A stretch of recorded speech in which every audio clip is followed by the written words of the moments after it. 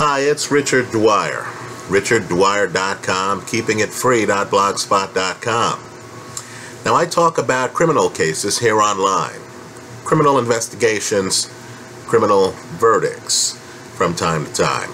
And as longtime viewers know, I'm against the death penalty. Well, yesterday is a typical example of why I'm against the death penalty. I'm watching a show on television called The Last Defense concerning the case of Julius Jones, who right now sits on Oklahoma's death row. Right now, let me just say the crime that he was convicted for is an awful crime. It's terrible. It involves the murder of an innocent individual in front of his family as part of a carjacking. Right? Terrible crime. Terrible crime.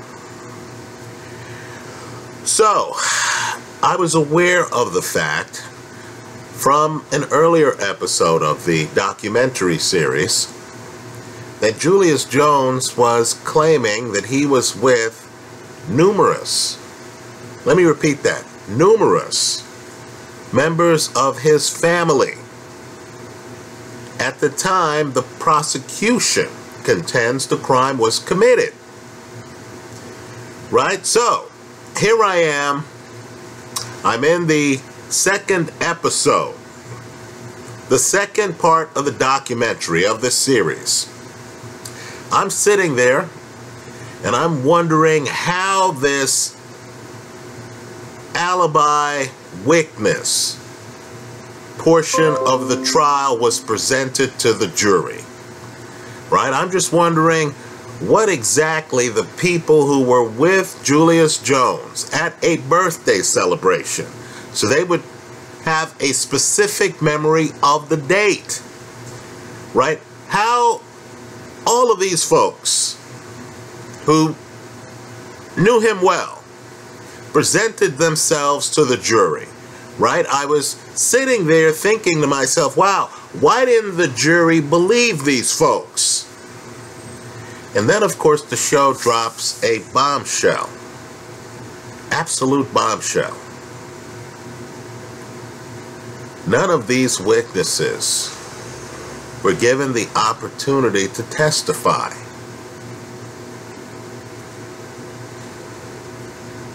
I'm shaking my head just repeating it. None of these witnesses were given an opportunity to testify. Why? Because Julius Jones's lawyer was inexperienced. I'm not kidding, he's on the show. He was inexperienced at the time. And he seemed to believe that his client had written a letter to a girlfriend in which the client claimed he was someplace else, not at home with his family at the time of the murders. Folks, this is mind-blowing malpractice. Right? By the way, the girlfriend to whom Julius Jones wrote the note has signed an affidavit stating that at no time did Julius Jones write her anything that suggested that he was someplace else at the time of the birthday celebration at his house. Right? For those of you who support the death penalty, and I understand many are going to say, hey, it's a states' rights issue, right? For those of you who support the death penalty, in the comment section to this video, please tell us whether you think the lawyer made a mistake in not presenting any of the witnesses, any of them, who were with the defendant at the time the crime was committed across town. Right? I mean, folks, this is ludicrous. Let me go one step further. There are other players in these death penalty cases.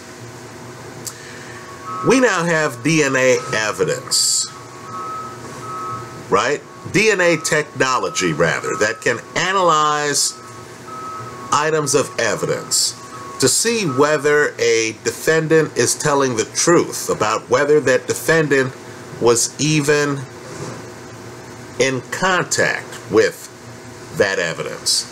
Now understand, the prosecution's chief witness, a guy whose nickname is Westside, admitted to the cops during one of the interviews that he actually spent the night after the murder at the home of the defendant. Well, guess what? Believe it or not, to everyone's surprise apparently, the police then found a gun and a bandana that were involved in the shooting at the defendant's house. Right? Now, the defendant contends that it's not his. Right? That this stuff had to be planted by guess who? The prosecution's chief witness, who admits, admits to being at the scene of the murder. So, of course, Julius Jones's lawyers are trying to have the bandana tested for DNA. Now, what DA would ever deny this request? If you're interested in justice, wouldn't you want the bandana tested? To see if it even has the defendant's DNA on it. After all, whoever did this crime was wearing the bandana. Right? So wouldn't you want to find out if the guy who's on death row has any DNA on the bandana? Folks, this is a no-brainer, especially in a death penalty case where the penalty is so severe and irreversible. Incredibly, the DA is hesitant to have the bandana tested. Think about that. Right? A law enforcement official someone we have delegated the responsibility of pursuing justice to doesn't want to test an item that was worn during the commission of a murder for the defendant's DNA. Absurd. Absurd. So, for those of you pro death penalty advocates, right? Again, in the comment section to this video. Tell us why you support either the defendant's trial lawyer or the DNA, excuse me, or the DA who doesn't want to test for DNA in a death penalty case. Understand too that this case is so ridiculous that the one adult witness who saw the perpetrator didn't see the perpetrator's face couldn't pick him out of a lineup. Understand too that person is certain of the fact that the perpetrator had a half of inch of hair sticking out from under a stocking cap. Here that the night of the murder, quite frankly, Julius Jones did not have. Now understand, the police have a photo of Julius Jones. It shows the length of his hair. Right? It shows the length of his hair. Would it surprise you to learn that his lawyer did not present that photo to the jury. So the jury didn't hear from any of the people who were with the defendant at the time the crime was committed across town And they also never got a photo of the defendant that shows the length of his hair so that the jury could decide whether the testimony of the lone witness matched the physical description of the defendant at the time of the crime. And in this case, believe it or not, with this shabby legal representation,